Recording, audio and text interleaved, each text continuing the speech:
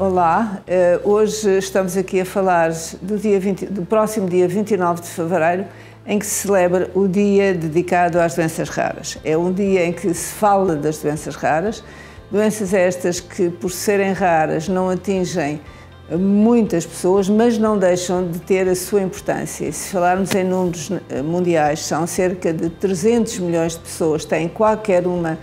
eh, sofrem de qualquer uma destas doenças e em Portugal pensa-se que mais de 600 mil sofrem de qualquer uma destas doenças. Estas atingem desde crianças recém-nascidos até à vida adulta, necessitam de ser cuidados, necessitam de apoio na área da saúde e da área social, sendo que muitos destas também padecem muitas vezes de apoio de alguns medicamentos e que são, por, por essas razões, às vezes considerados medicamentos órfãos difíceis de conseguir difíceis de não só de que a indústria muitas vezes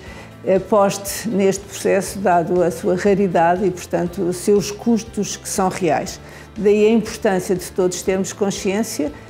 que é um problema real da sociedade, das, das crianças, dos adultos, das famílias e, portanto, de que todos temos ter mais consciência na sociedade para este problema.